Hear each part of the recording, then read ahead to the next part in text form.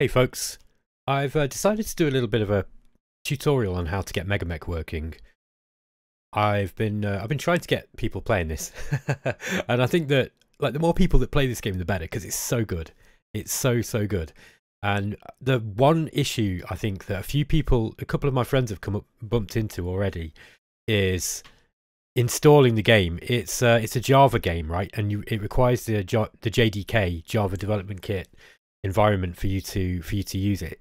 Now, for most people, this isn't going to be a big problem. But if, like me, you have to use Java for work or you know study or anything like this, there's a fair chance that you've got um, a version of the JDK that this game doesn't support.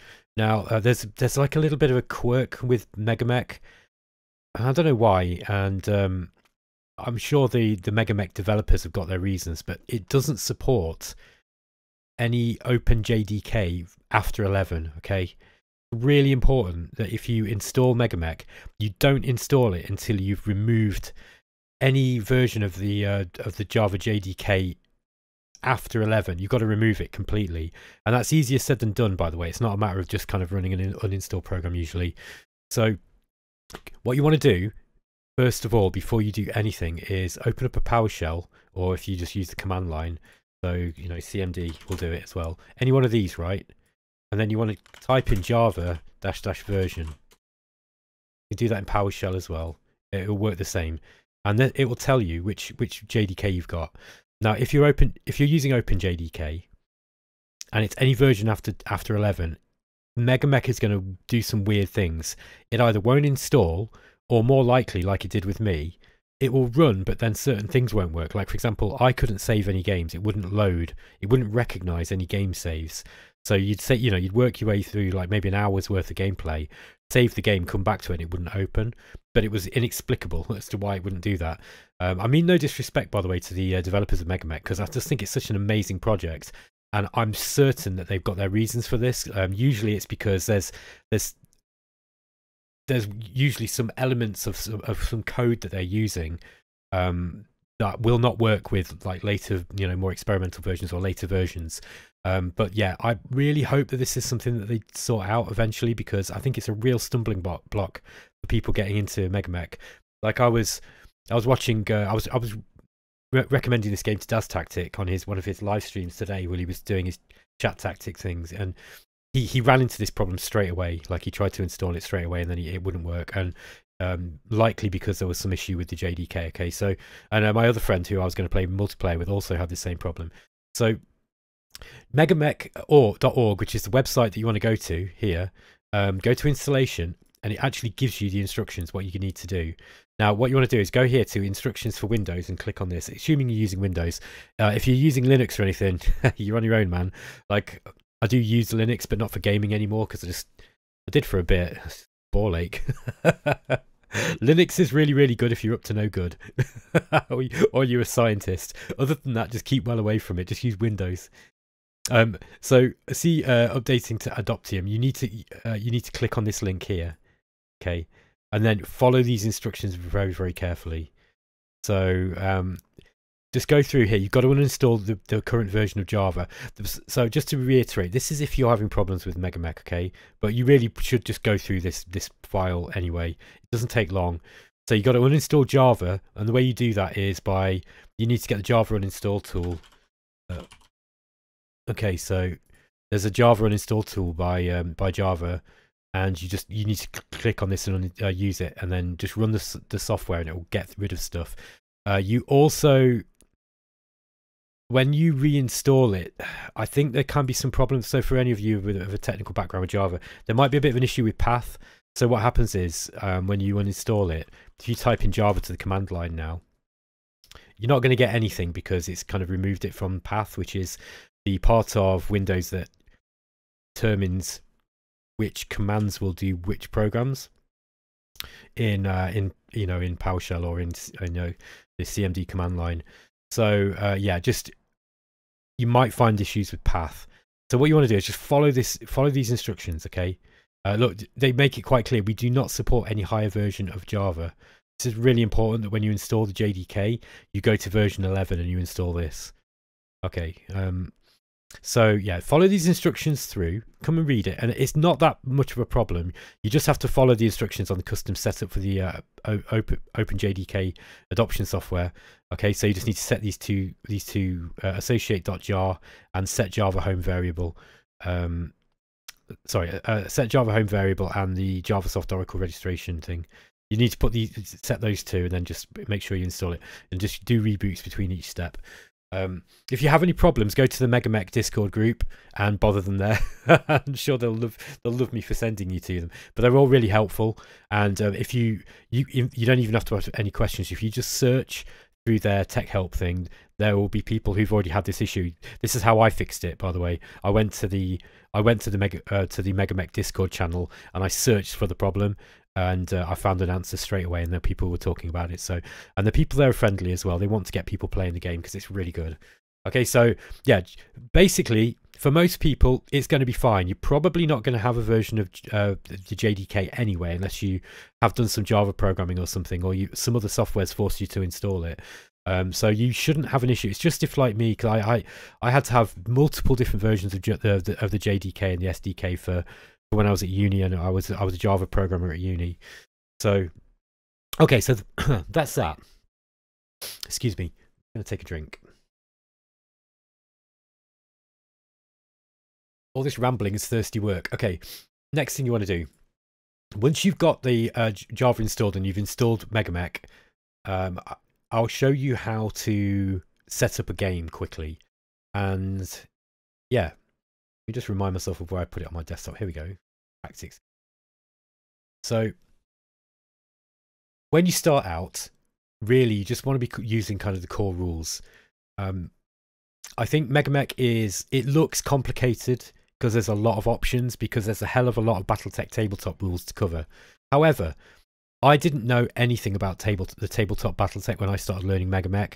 It's such a great game that you can pretty much pick it up just from playing it.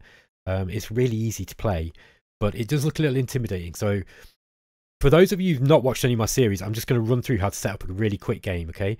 So just click on start a game. Uh, you've got a name and a server password. You don't need to put any of these in. So just like just leave that for the time being. And uh, you just click on open.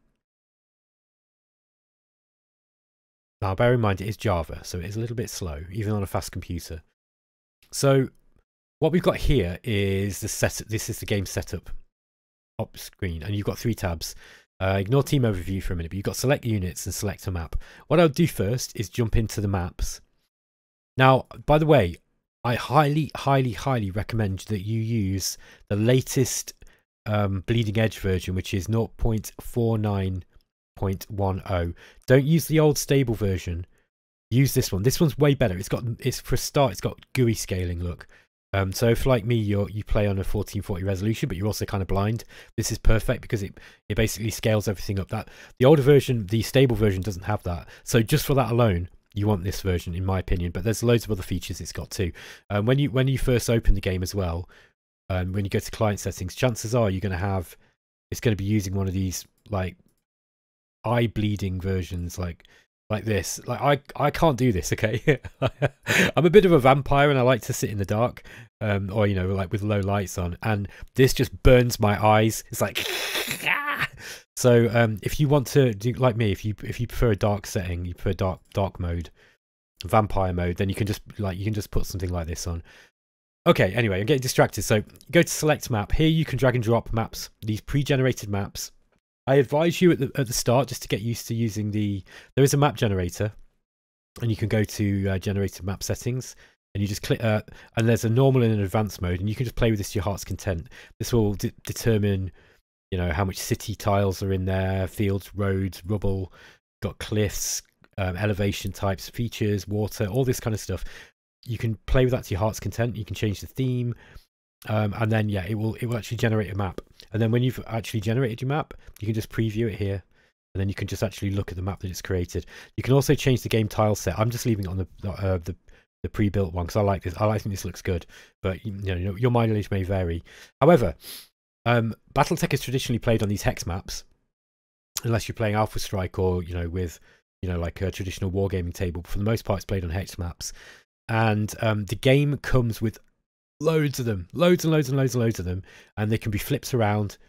So um, here's the example board, and you can actually you can actually put multiple of these maps together. So uh, the the way that you tend to do it in in a game of armored combat, for example, where you get like some of these maps here, like grassland, desert, whatever. Just drag and drop desert two in there. Now let's say that we uh, this is a bit too small. Like it might be enough for like a couple of mechs each, but if you're playing a lance against a lance, you probably want two. And if like there's a couple of ways to do it. You can put stack them on top of each other height by height, or you know if you you know say you want to kind of run a gauntlet and you got to get one from one end to the other.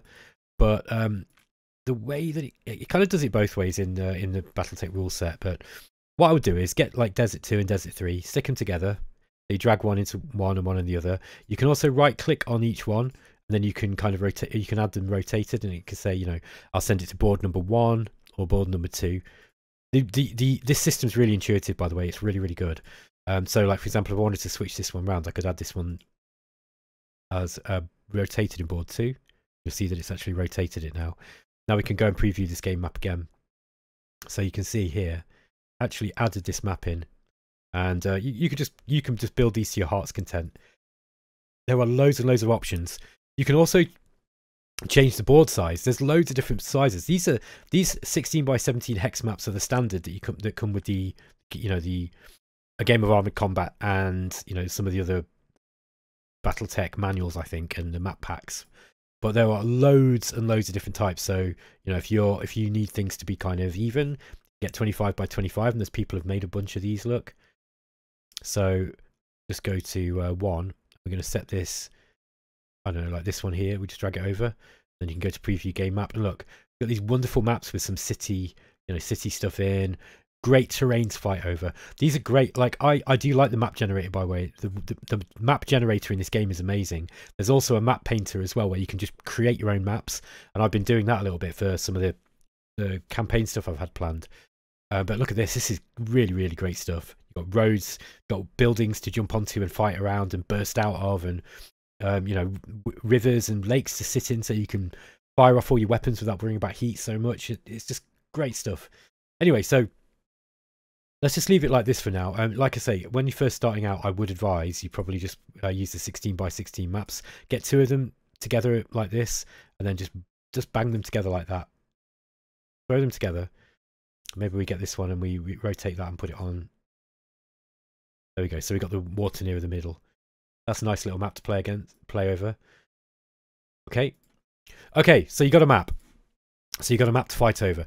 The next thing that you want to do is you need to pick some forces.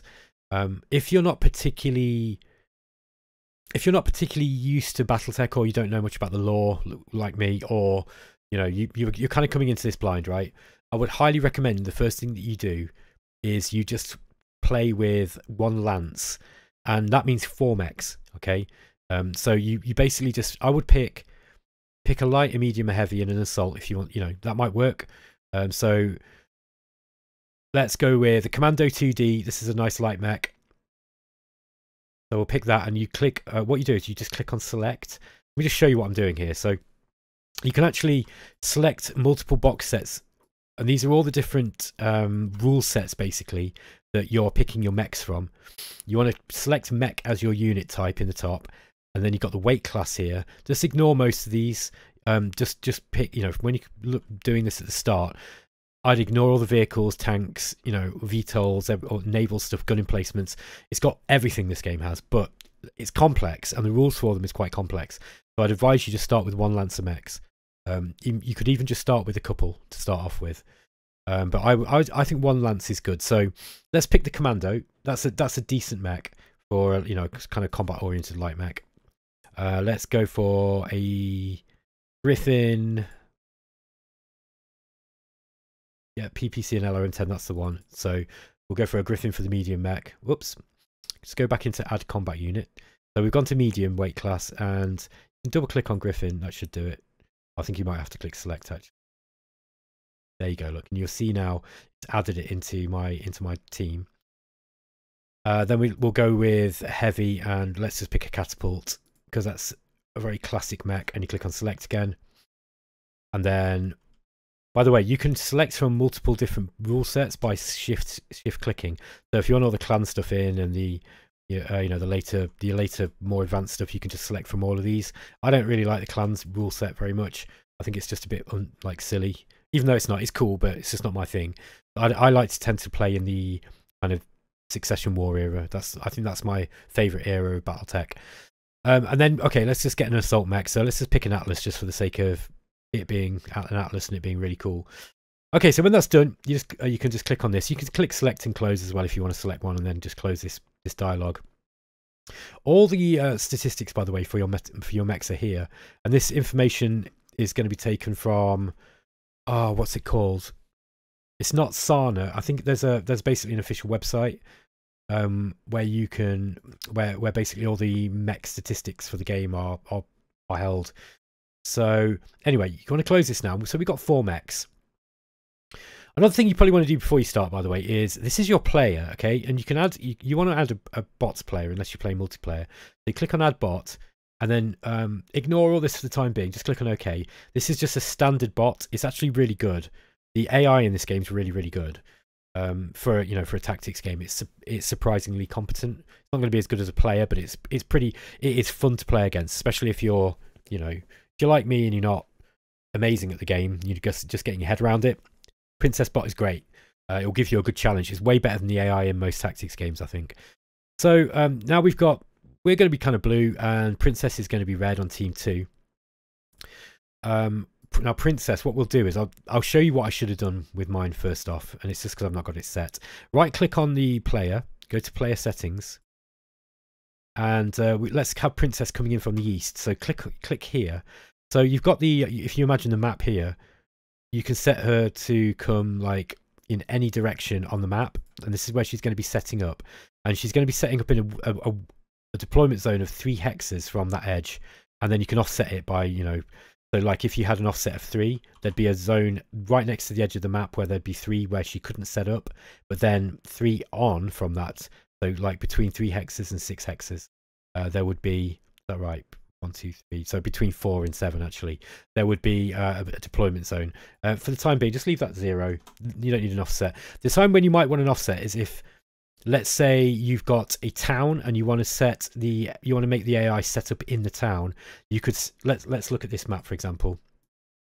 Let's just go to one that's got some ruins. Okay, so I'll, I'll describe what I'm talking about here let's say that you wanted the AI to set up in specifically in this kind of area, right? You would set it in, you'd set the AI to start probably on the east, and then you would set a zone offset of three. Um, so they wouldn't set up in any of these three here. Then you'd have a, a, deployment zone of four. So that basically mean it would set up in any of these. And then you, you're kind of getting it set up roughly where you want. Do you, I hope you follow what I'm talking about there, okay? Um, this is just some advanced stuff, but it's kind of interesting to know, especially if you want to kind of, yeah, you want to play a game where you've got like a, a you want to get the AI to defend something, or you want it to set up in a specific area. Okay. Right click on Princess, click on player settings again, and now what you want to do for method for rolling pilot skills is I highly recommend that you just go to constant and then just click on this button here. Piloting is equal to gunnery plus one and leave it on skill level regular. What this means is, and just click on OK, what this means is now whenever I generate a, a mech, um, it's going to give it gunnery 5, sorry, gunnery 4, piloting 5. Now that's the standard rule set, okay? So gunnery is the on two dice when you're shooting something with no other modifiers you need to get fours or more on two dice in order to hit. And piloting is the same. So you know you know if you've got to make a piloting check you roll 2d6 and um, if you get five or more then you've passed the piloting check but there will be modifiers too. And the better your pilots are the lower this number. So someone with gunnery like one and piloting two would be an elite pilot for example. Okay so uh, we'll just um, for the for princess i'm going to show you how to use the the um the rat so you can create a random army. So the rat generator basically you can set where you want you know the kind of general mechs that you want right? And it will then randomize and uh, give you a bunch of units that it will roll for you and you can pick from them. Uh, this looks complicated and it's really not okay? There there are ways to doing this right? You, let's say that you want this this particular one here um, these these are force generations for specific periods in the game. I would, if you're just playing this for the first time, I'd ignore this for the time being. This is going to be of use to BattleTech enthusiasts who want to play their games with a very specific set of units from a specific time period. I wouldn't worry about that for the time being. I'd go to the rat generator, put in a year, and if you're new to the game, I'd, I'd recommend something like 30, 20, 25. Late succession era is when, like, you know, all the early stuff is kind of there, but some of the newer mechs are coming in, but you've not got any of the clan tech, which just really confuses things. Um, just leave the uh, the, the faction on Inner Sphere General, and then just leave the uh, unit type on mech. You want four units. You can uh, change the rating now. Um, the rating I can't remember now if A. I think generally in BattleTech it's weird. F is the best and A is the worst but you can change it so that A is the best and F is the worst in the options. Um, I'm just going to check that myself, actually. Let's just get, let's just go into, I'll, I'll know through the assault mech, so let's just roll up some here. Bum, bum, bum, mech, F. Yeah, okay, so look, it's, it seems to be getting atlases and stuff. So yeah, I think F is the best. Okay, that's interesting. Anyway, there's uh, there's multiple tools for, building stuff here, but this is the this is the generator that I tend to use. So what you want to do is I'm just trying to remember how you actually use this. it's been a while since I have. Um, yeah. So you set you set your options here. Set the year. Set the inner sphere, Um, and then just leave it on mech. Set the amount of units you want and the and the and the quality, the rating, and then you just click on roll here. And what it will do is, it um, depending on the weight class, if you put mixed, it'll give you a mix of a mix of units, and it will just give you, you know, you just click on roll here, and it will roll up a bunch of mechs for you. Um, you can set a, a, battle value as well. So if you go to BV matching, this is one way to do it. So let's say that look, we've we've made our Ixion Raiders group, uh, which is just some random name I came up with, and the battle value for these guys is kind of high. Now this is because I've got random like pilots with random skills, right? But it's about 4,500. So let's say you want the uh, princess bot to have one that's kind of similar. Just go to create random army, and let's say we want to set it between four, five, 5,400 and 5,500. Okay, then you want four mechs, and we'll just and we'll just leave it at four mechs, and then you can set the year to whatever you know year you like the game to be set in. Again, like I say, I kind of like it in 3025. That's about right for me. Okay, and then just click on roll, and it will give you. Uh, it will give you every time you roll, it will just give you a bunch of units. So here we've got a dragon. This is kind of a weird, weird model. Here we go. Look, a cataphract. We've got two archers and an annihilator because this is quite a high battle value for just for four mechs. So it's basically given us a bunch of um, heavy and assault mechs here. So when you pick the ones you want, anyway, click on add selected or add all and it will add them down in here. Now these are the chosen units, and then what you want to do is make sure you've got princess selected, or you know, get the bot selected, or you, depending on who you're adding it to, and then you just click on OK, and that will add them to princess's team. Okay, so this is going to be, a, by the way, this is going to be tough because um, the reason why I've got such a high battle value is I've got some pilots with some better skills in here, I think. Um, but these, yeah, we've got two archers. This is going to be quite hard to kill. Anyway, that's how you that's how you pick a force randomly. Anyway, I would highly recommend that you use the the BV the battle value matching. The way battle value works is interesting. Um, I would recommend that you probably look at Sarna for that. So Sarna is the BattleTech wiki, sarna.net. It's your best friend. If you don't know what a, a you know, if you want to have a look at what a catapult does, for example, you just click on catapult, and then you can all the information you need for it is here um, the class it's it, how much it costs, the the mass, the tonnage, uh, the weapons that it's got will be down here under armament, its speed, how many heat sinks, uh, any other stuff. You've got the fluff stuff here, which is interesting to read. Then you've got um, a description of its weapons and equipment and what it's good for, and then a list of all the different variants. And the, there'll be loads of variants as well. Like like catapults are popular models. There's loads of variants. Look, so this is this is your best friend if you want to figure out what you're doing. Like if you've never played BattleTech before, right, and you're just lost, like because this game has hundreds of mechs, maybe even a thousand or more. It's, there's hundreds of them, um, and you're not quite sure what you want to pick. Go into you know go into Sarna and you know you can just look at it like okay, what is a commando? Right, we'll go to we'll go back into the site and go. All right, type in commando. What is a commando 2D? Well, the 2D is the stock model. It's got one SRM6, short range missile launcher 6, short range missile launcher 4, and one medium laser. Um, it's uh, it runs at 97.2 kilometers an hour. Now, how this translates into hexes, I can't quite remember. You'll soon find out when you play. All right. So um, you can also do some other stuff. This is this is kind of like you don't need to do this, but let's say I want to give myself a better a better pilot and a better gunner. I can just change the values in here. So let me just show you what I'm doing here. I'm right clicking. I'm going to configure, and then um, the pilot, for example, you can give this. You can just give them a picture if you want to kind of really play with the fluff of it. Okay, so Emma Emma Garnham is now a bloke. In which case, you'll probably want to change the name. So Graham Radley, that'll do. You can give him a random call sign. You know, Trident, whatever. It doesn't really matter. And then um, you know, just just give them whatever piloting gunning skills you want, and then you click on OK. So you can fill out your your pilots and just kind of give you know make them look a bit more cool. And if it helps you connect with the game more, I highly recommend doing stuff like that. I like to do that. You particularly will want to do this in a campaign as well because it's really fun to see how you you know what happens to your characters. BattleTech is an RPG as well. It's not just a war game; it's like an RPG too. Um, okay, once that's that set up, just double check right uh, in your player settings that you are starting in the right position. So, Ixion Raiders green. Um, this is us. We want to start in the west. Click on OK, and Princess is starting in the east. Okay, so you can see the, uh, the opposing player is the square red one, and you, the one that you're selecting currently is the green circle. So just click on OK. When all that is set up, and you've got you make sure you've got the right map, then you just click on I'm done. And there you go. And here's your initiative phase. And you want to read all this. You don't have to read it all, but it basically tells you what initiative you've got. And um, click on done, and the game starts.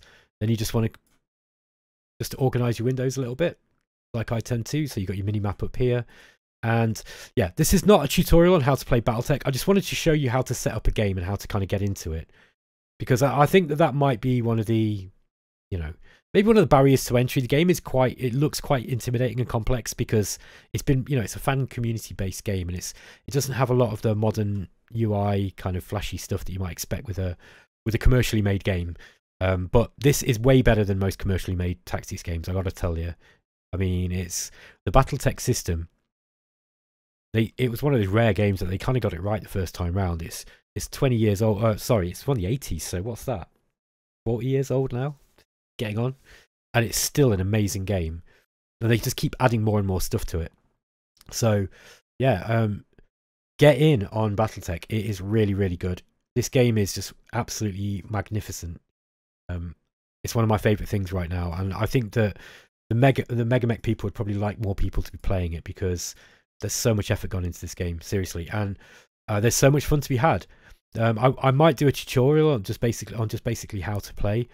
I don't really feel qualified to do that because I don't think that I've been playing it long enough to really know all the ins and outs of the UI. Um, there is quite a lot to it, but it's kind of it's relatively intuitive. But we'll come to that later. All right, folks. I hope that was useful. If you've got any questions, just leave me a comment. Um, also, leave me a comment if you like this kind of content. You want to see more of it. Um, I will leave a link up to the Discord, the MegaMek Discord channel. And if you've got any questions on how to install the game or how to set up a game so you can kind of get into it and start learning it, then you're probably better off talking to the experts because they'll probably be happy to help you. And like I said, I found them really, really friendly. All right, guys, I will catch you next time. Take care.